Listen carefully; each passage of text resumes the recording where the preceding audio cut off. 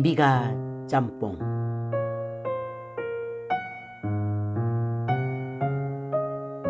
소문백자의 청초한 빛깔로 맛깔스럽게 보이는 탕수육에 얼큰하고 진한 육수로 산의 진미의 방점을 찍는 짬뽕에 어울림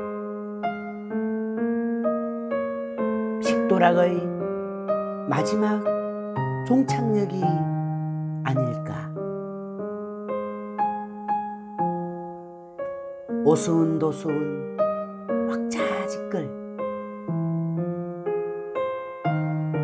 저마다 맛의 향연을 즐기는 풍경들.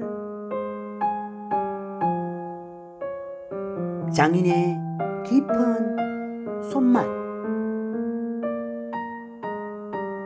향수를 함께 하고픈 오묘한 인연의 끈이 아닐까. 그곳에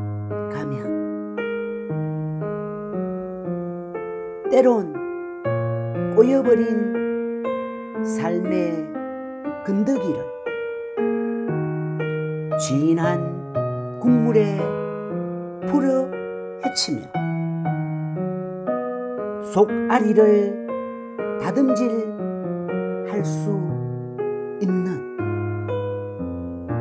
진한 향기가 코끝을 맴돈다.